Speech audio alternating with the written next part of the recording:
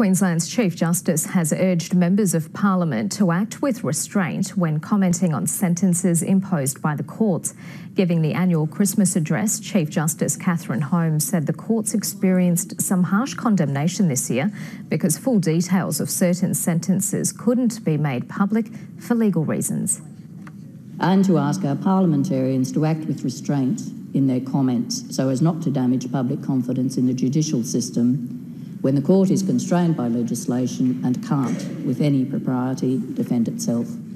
The Chief Justice asked the public to accept there may be more to a sentence than meets the eye before joining in any outrage.